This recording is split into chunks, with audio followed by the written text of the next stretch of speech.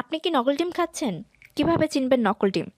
দু হাজার চার সালে চীনে তৈরি হয়েছে কৃত্রিম ডিম। এই ডিমগুলো আসল ডিমের মতো দেখতে হলেও পুষ্টিগুণে আসল ডিমের ধারে কাছেও নেই।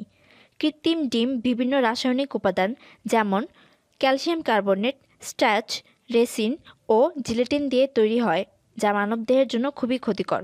দীর্ঘদিন ধরে কেউ নকল ডিম খেতে থাকলে স্নায়ুতন্ত্র ও কিডনির সমস্যা দেখা দিতে পারে। নকল ডিম থেকে ফুসফুসের ক্যান্সার হওয়ার সম্ভাবনাও রয়েছে। চীন থেকে বিভিন্ন চোরা পথে এসব নকল ডিম বাংলাদেশ সহ দক্ষিণ এশিয়ার দেশগুলোতে রমরমা ব্যবসা করে চলেছে। আসুন জেনে নিন নকল ডিম চেনার উপায় আপনার পরিবারের জন্য। নকল ডিম ভাঙার পর কুসুম এক জায়গায় না থেকে চারদিকে ছড়িয়ে পড়ে। কৃত্রিম ডিমের খোসা খুব ভঙ্গুর, অল্প চাপে ডিমের খোসা ভেঙে যায়।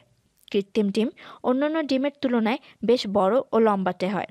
নকল ডিম সেদ্ধ করার পর কুসুম বর্ণহীন হয়ে যায়। রান্নার পর অনেক সময় নকল ডিম থেকে একটু গন্ধ আসে, যা আসল ডিমে হয় না। নকল ডিম কোনো সাবান বা অন্য কোনো তীব্র গন্ধযুক্ত বস্তুর পাশে রাখলে ডিমের ভেতর সেই গন্ধ ঢুকে যায়, রান্নার পরও সেই গন্ধ থেকে যায়।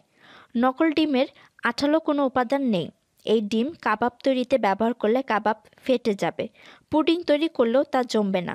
আসল ডিম ভাঙলেই কুসুম এবং সাদা অংশ তাড়াতাড়ি মিশে যায়। নকল ডিম হালকা, চকচকে, শক্ত। আসল ডিমের খোলার থেকে শক্ত খোলা। নকল ডিমের মধ্যের অংশ রাবারের মতো। আসল ডিমে পিঁপড়া কিংবা মশা মাছি বসে, কিন্তু নকল ডিম কীট পতঙ্গকে আকৃষ্ট করে না।